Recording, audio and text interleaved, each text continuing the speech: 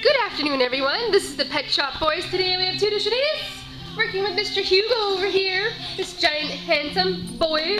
Um, so what they're doing as a pet project, uh, they're doing under and over. So what that looks like when given the cue, he's gonna jump over, sorry, he's gonna go under Shanice's leg and then jump over Shanice's leg.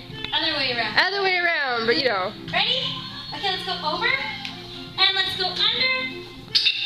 There Good we job, go. Hugo. That